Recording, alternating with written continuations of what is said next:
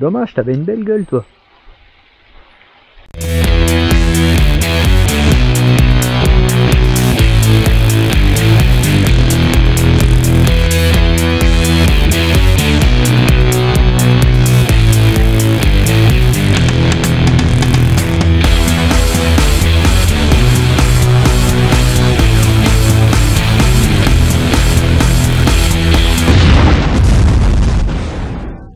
Sur la chaîne GFR 900, et je suis ravi de vous retrouver aujourd'hui pour une nouvelle revue. Donc aujourd'hui je vais vous présenter un petit drone de la marque F007, le F007 Pro, voilà.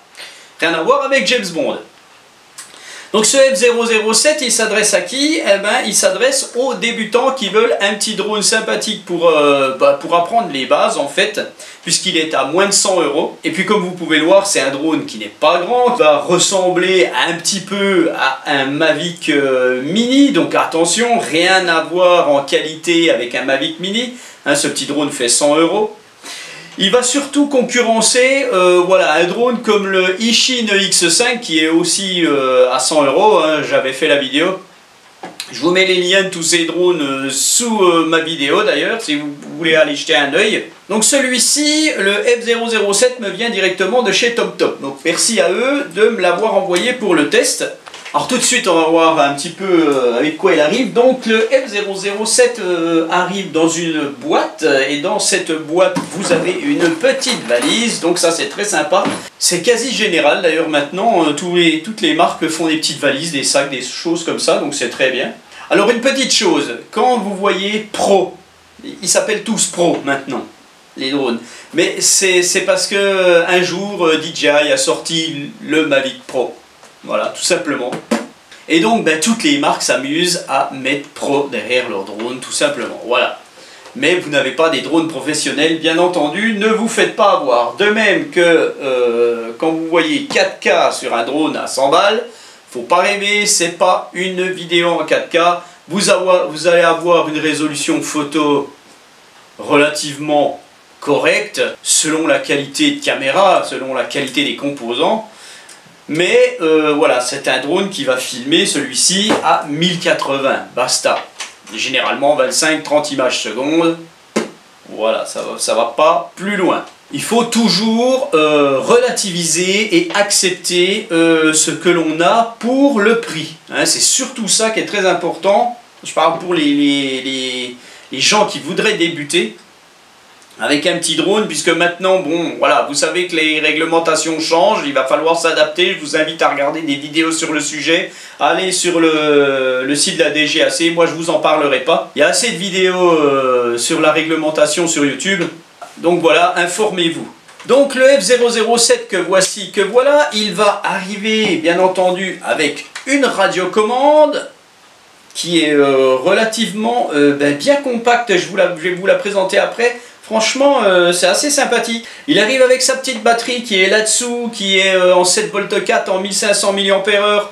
Ça va vous assurer environ un quart d'heure de vol. Elle va mettre 90 minutes pour, euh, pour se recharger environ.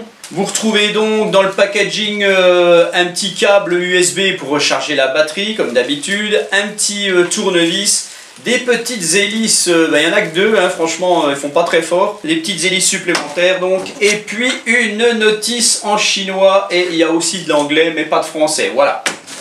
Alors ce F007 Pro, euh, on va voir un petit peu ses particularités, mais tout d'abord on va le peser, hein, tout simplement. Voir un petit peu par rapport à un Mavic Mini et euh, un Ishin X5 où il se situe celui-ci. Il fait 280 grammes, voilà. Le, X, le EX5 lui fait 240 grammes. Et euh, bah, tout le monde sait que le Mavic Mini lui fait 250 grammes, 249, voilà.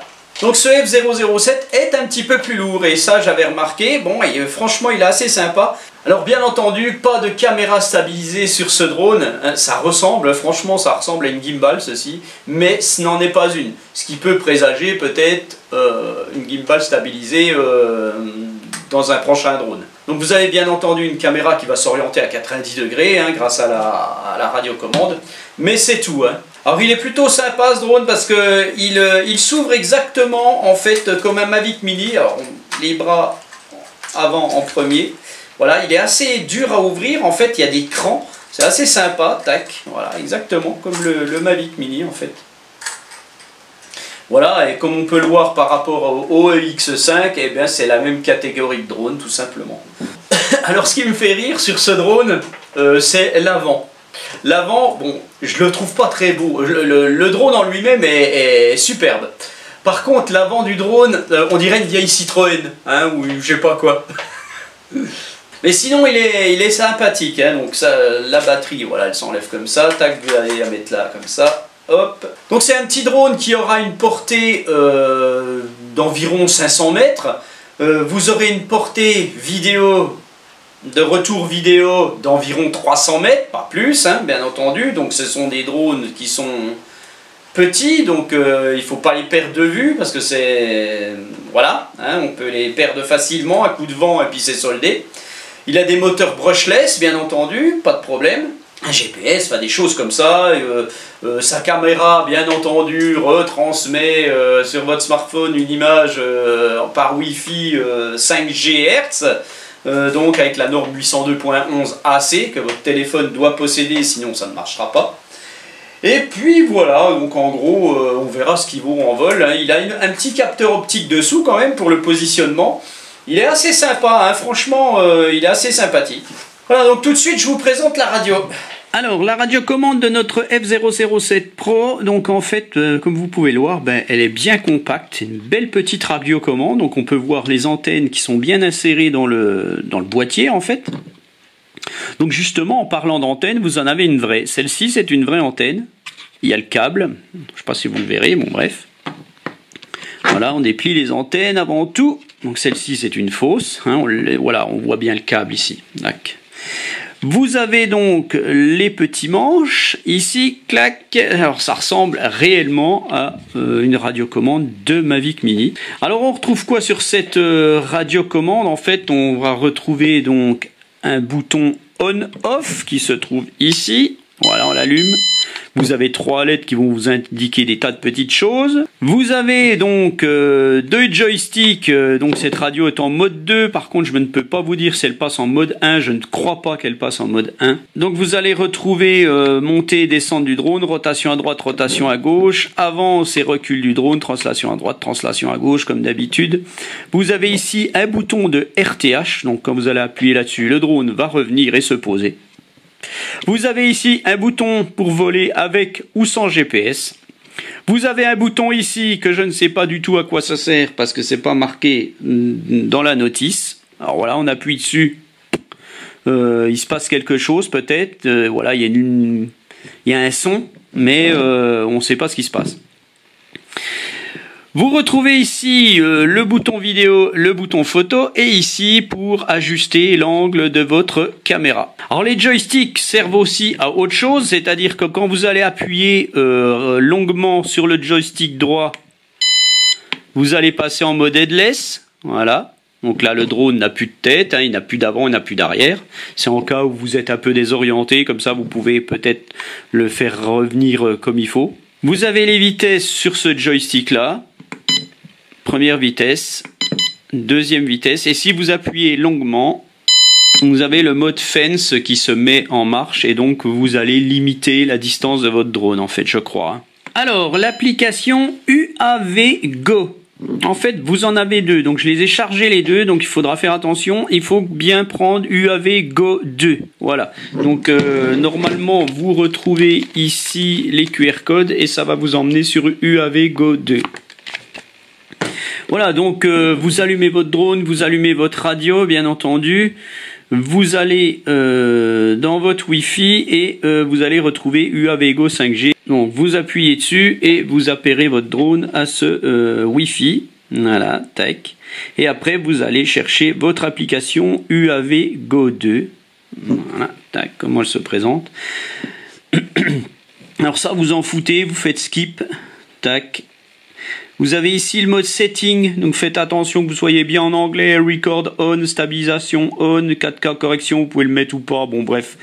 Je sais pas si ça a vraiment une interaction sur l'application. hein. Set completed, voilà, tout simplement. Et puis vous faites start, voilà. Tac, next. Et là, ça va vous emmener directement sur la calibration du compas de la boussole. Donc c'est bien, on va la faire. On va la faire tout de suite, tiens, voilà. Donc, euh, comme on peut le voir, on met les joysticks, euh, un en haut à droite et l'autre en bas à gauche. Voilà, on entend une petite euh, musique, un petit buzzer. Donc on fait tourner le drone dans le sens contraire des aiguilles d'une montre à plat, comme on peut le voir. Voilà, je ne sais pas si vous allez bien le voir. Voilà, là ça vient de, de biper. Donc maintenant on le met verticalement, on lui met la, tête en haut. Je pense que ça marche aussi la tête en bas. Hein. Voilà, et une fois qu'on a fait ça, la calibration de la boussole est faite, donc ça c'est très bien. Voilà, et donc normalement on a le retour vidéo. Voilà. Tac, on fait submit, c'est bon. Tac, voilà. Donc un retour vidéo euh, peut-être assez sympa apparemment. Bon, la, qualité est pas mal comme ça vu de près. Après, faut voir en vol, hein, franchement. Alors, qu'est-ce qu'on retrouve sur cette euh, application en fait? Eh bien, on retrouve toutes des choses que vous ne vous servirez pas si vous ne pilotez si vous pilotez, je veux dire, votre drone avec la radio, donc il y a des choses qui fonctionneront pas, bien entendu. Vous allez retrouver à droite euh, bah, toutes les petites fonctions automatiques. Donc vous avez ici donc le RTH, vous avez ici euh, tourner autour d'un point, vous avez ici le suivi, euh, le tracking en fait, suivi téléphone. Euh, vous avez ici le mode gestuel, hein, c'est-à-dire que vous allez faire comme ça, ça va enregistrer une vidéo, vous allez faire, vous, voilà, il y a un petit tracking, des petites choses comme ça. Bon bref, ça, généralement, ça marche plus ou moins bien. Vous avez ici un mode waypoint, là, voilà, tac. Vous allez retrouver là-haut, donc, vos dossiers euh, photo, vidéo, SD, vous en foutez. Vous avez le retournement de l'image, le mode VR, bon, tout ça, franchement, euh, c'est tout des petites choses. Bon, ça peut servir, mais c'est pas terrible. Vous avez ici un petit peu toute la télémétrie, hein, altitude, distance, vitesse, voilà. Les niveaux de batterie de votre drone, euh, voilà, des choses comme ça. Le nombre de satellites, là, il s'affichera pas.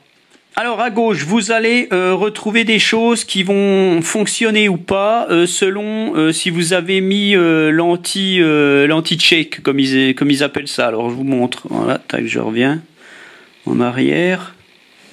Voilà, dans Setting, en fait, si vous avez mis stabilisation on, il y a des choses qui ne fonctionneront pas, donc faut faire off. Voilà, tac.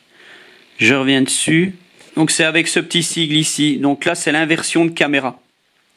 Si vous avez euh, l'anti check, en fait, ça marchera pas. En fait, c'est pour passer de la grosse caméra à la toute petite caméra qui est sous le drone. Voilà. Si j'appuie là-dessus, normalement, voilà, là, on a la petite caméra voilà, je filme avec la toute petite caméra qui est en dessous le drone en fait. Voilà, je vais revenir à la caméra principale. Voilà. Vous avez MV ici, donc c'est pour euh, faire une euh, des, des, des, vidéos en musique. Vous allez choisir une musique et puis faire une vidéo et des photos. Voilà, tout simplement. Ici, vous avez donc le mode pour piloter votre drone avec l'application. Je vous le conseille pas. Vous avez ici les vitesses, tout ça. Donc tout, tout ça, en fait, ça ne marchera pas si euh, vous avez la radiocommande en route. Bon, voilà, c'est aussi bien. Ici, vous avez un arrêt d'urgence et ici, pour enregistrer euh, photo, vidéo, donc euh, bien entendu, vous avez euh, la radiocommande pour le faire aussi. Voilà, donc je vous ai un peu tout montré sur ce drone. Donc bien entendu, avant de décoller, il faut aussi faire la calibration du gyroscope. Je vous ai montré la calibration tout à l'heure de la boussole. Il faut faire la calibration du gyroscope à chaque décollage en fait. Et donc pour ce faire, vous mettez vos deux sticks en bas à droite. Et là, le drone va se mettre à clignoter. Voilà, on le laisse faire. Et puis, euh, ben c'est tout bon, voilà, tout simplement. Et à partir de là, on peut faire décoller notre drone. Donc bien entendu, là, il est en recherche de ses satellites, donc je n'arrive pas à le faire fonctionner. Il faut que je désactive le GPS. Voilà, là j'ai désactivé le GPS. Vous avez le voyant vert qui reste euh, constant. Et là, bien entendu, on peut le démarrer. Voilà, les moteurs démarrent et puis je ne vais pas le faire décoller ici parce que euh, je ne connais pas très bien ce drone. Je ne vais pas me le prendre dans les dents. voilà.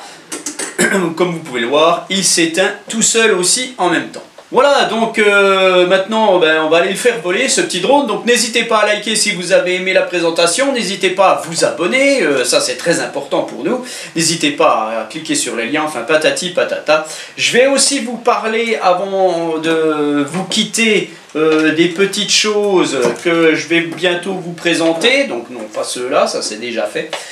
je vais bientôt vous présenter donc le EX4 euh, optimisé en fait c'est le même, euh, je vous, l'avais présenté déjà. Celui-ci c'est la nouvelle version avec une portée améliorée, donc sachez que je ne testerai pas la portée qui est soi-disant de 3 km. Ça je m'en fous avec un drone comme ça, on verra simplement si à 400-500 euh, mètres on est toujours bien. Je ferai pas de... voilà, on verra ce que ça donne. S'il est vraiment... si c'est vraiment correct niveau retour vidéo surtout. Et puis, celui-ci, là par contre, euh, ça, ça me tient vraiment à cœur. Il est vraiment... J'aime bien cet appareil en fait. Euh, on ne sait pas comment ça s'appelle en fait. C'est un hélicoptère mais qui ressemble à un drone, un hélicodrone ou un dronocoptère, j'en sais rien. Euh, ça ressemble à un appareil du film Avatar déjà. C'est, je trouve ça super sympathique, franchement, euh, c'est très ludique à faire voler. Euh, voilà, je vous présenterai ça bientôt. Voilà, donc je vous laisse avec la vidéo de vol du F007. On verra ce que ça donne. Allez, ciao. Voilà, donc on va faire un petit essai avec notre F007 Pro. Donc, bah, je vais pas sur mon lieu de vol puisque je n'ai pas trop trop confiance en ce drone. En fait, il m'est arrivé un petit truc donc je préfère rester ici et puis vous montrer un petit peu ce qu'il vaut sans plus. Hein. Bon voilà, hein, c'est comme ça parfois, donc on... voilà. Alors tout de suite je vais enregistrer la vidéo, voilà. Alors on va enregistrer l'écran quand même. Alors il me dit de faire la calibration du compas. Bon, normalement, j'ai pas besoin, puisque je l'avais déjà fait. Voilà. Alors, j'enregistre ou j'enregistre pas? Voilà, donc j'enregistre. Alors, on va décoller tout de suite, on va voir un petit peu ce que ça donne. Est-ce que je peux euh, décoller automatiquement? Oui, décolle automatiquement.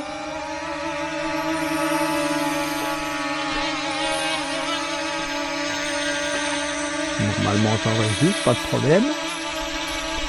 Alors, ce qu'on va faire, on va grimper un peu et puis on va vous montrer un petit peu la qualité vidéo. Donc pas de stabilisation, hein, bien entendu, sur ce drone. Voilà, je vais pas aller plus haut.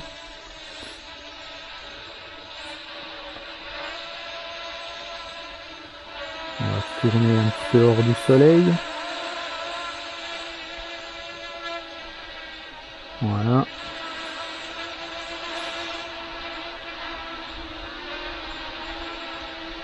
Je pourrais pas vous faire mieux hein, en fait.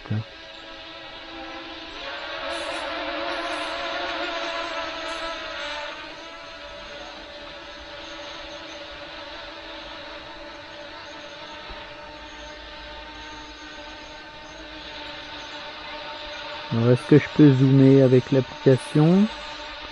Je sais pas si ça enregistre en fait. Voilà, on a un petit zoom. Bon, ça zoome l'application, bien entendu.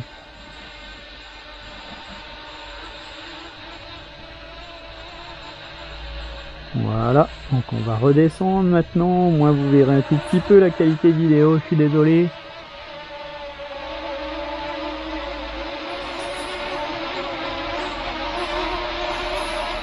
Merci à Tom Top quand même de m'avoir envoyé ce drone pour le test. Hein. Donc un petit drone qui va faire concurrence au Ishin EX5. Ce sont des petits clones hein, de, de Mavic Mini, on va dire. Voilà, je vais le faire partir un petit peu, malgré tout.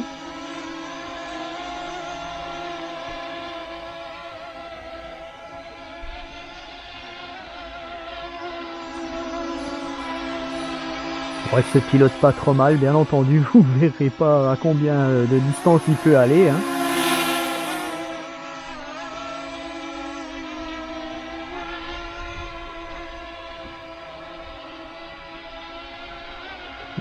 Pilotage, il est euh, assez correct.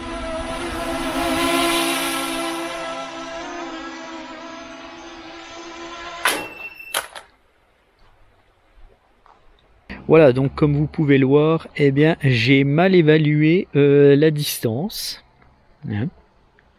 Et puis, ben, j'ai fait le gros con. Voilà, je viens de le casser, donc on voit qu'il y a un fil qui est euh, dessoudé. Donc euh, ben non seulement je pouvais pas vous faire une vidéo correcte de ce drone, mais en plus de ça, je viens d'y exploser la tronche. Donc euh, eh bien voilà.